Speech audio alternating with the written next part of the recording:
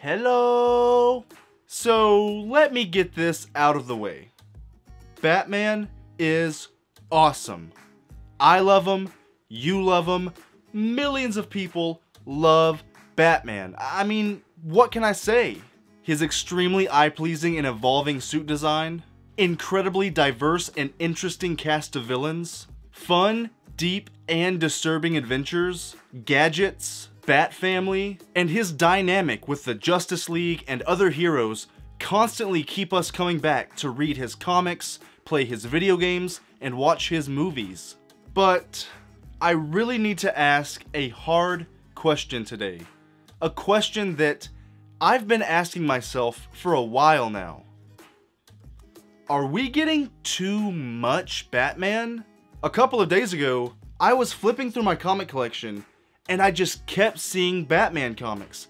Batman after Batman after Batman. And not just in his own title, but in Detective Comics, Justice League, Deathstroke, Green Lantern, and many others. When I go on the internet, I see article after article talking about the new Batman movie and Ben Affleck's Batman and whatever Batman comic is out. Then I saw a commercial for Batman's latest DC animated movie and it really got me thinking.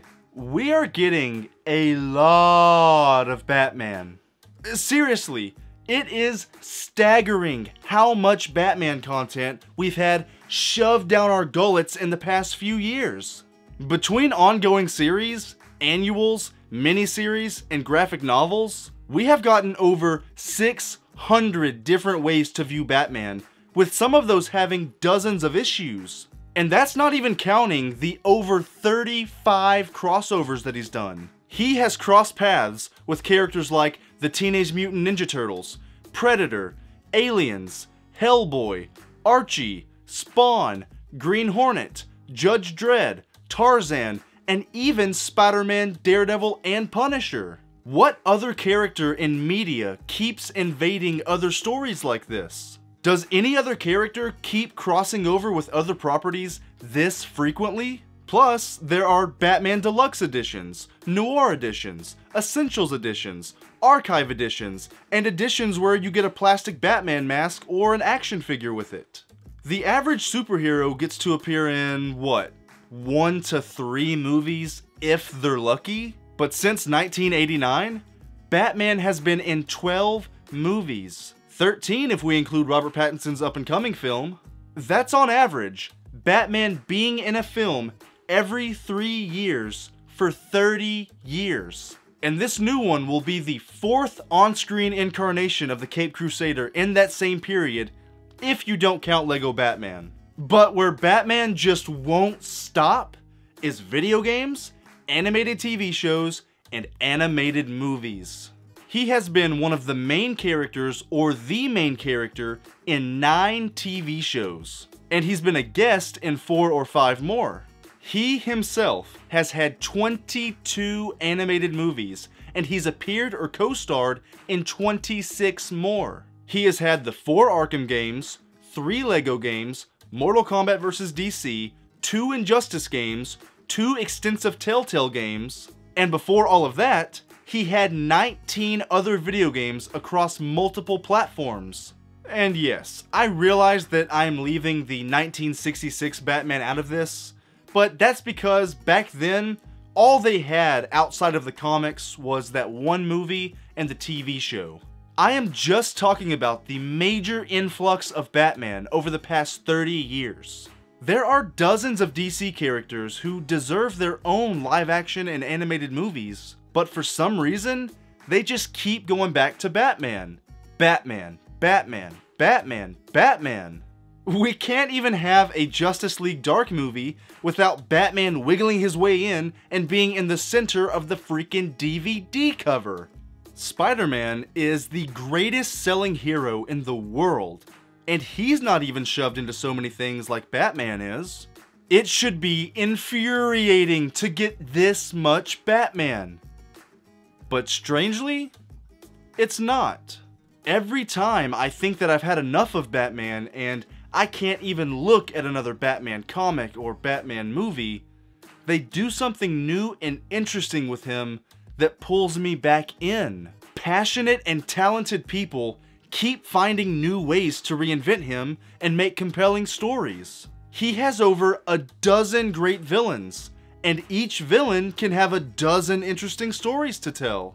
Batman refuses to kill Joker, then Joker breaks out of prison, then Batman has to put him back in prison, or one of the villains has a vendetta against somebody and they want revenge and he has to stop them, or they want to break into a bank or kill some people or blow something up over and over again. Yet, somehow, we stay interested. It's because between those stories, there are stories like Metal, Gotham by Gaslight, Dark Knight Returns, or The Last Knight on Earth. He can be in a wacky space adventure, but then work just as well in a murder mystery. Plop him in the 1800s with primitive technology, or put him 25 years in the future. He is just as interesting. I think unlike some characters like The Flash or Green Lantern, who I think are really amazing, the character of Bruce Wayne is so different and malleable, you can tell a hundred different stories with him in it, and 80 of them will be good. There is just something about the tortured soul of Batman. The scared boy inside. The way he talks. The way he fights. His relationship with other characters. His intelligence. The way his villains have challenged him. His plethora of great costumes. The way writers have portrayed him. He is simply amazing. So, even after being in over a thousand comics, almost 50 animated movies, 30 video games, and 12 films, why do we keep wanting more and more Batman? Well, my comic box is why. I and millions of other people keep buying his comics. We keep buying his video games and tickets to his movies. We keep buying his merchandise. We just can't help it. Action figures, t-shirts, hats, socks, backpacks, statues, blankets, posters, watches, shoes, underwear. It never ends. The truth is, we have an obsession over Batman. We want to be him. And that's okay. I totally get it. He is an immensely interesting and awesome character that will probably be just as popular for another 75 years. Even though a lot of his stories are repetitive and have some similar beats, the reason we love them so much is because we learn from them. His stories usually teach us intrinsic values about life, death, family, growing old, trusting people, making mistakes, and at the core, being human how to get knocked down, but rise from the darkness, how to solve difficult problems and learn from our mistakes, how to become a hero. Plus, he just kicks ass. We love the deep introspective character moments, but we also love to see Batman do martial arts and smash people's faces into the ground. And he does it oh so well. So, to answer my question, are we getting too much Batman content? Yes and no. I would love to see other heroes and villains get some of the shine that Batman is taking up, but also, I think if they stopped making so much Batman content, we would miss it.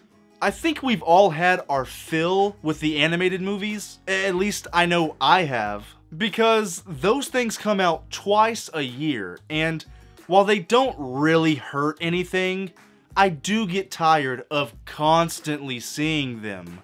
But everything else? I say keep on bringing the Batman. As long as they are new and inventive stories with exciting ideas. I say yes to Batman. So, what are your thoughts about this? Are you just a little bit tired of seeing Batman? Or do you never get tired of seeing the Caped Crusader? Come on, let's discuss it. Go ahead and hit the like button if you like this video, hit the dislike if you didn't like it, and maybe even consider subscribing if you want to see more content like this in the future. Alright, take care out there, and until we meet again, Peace!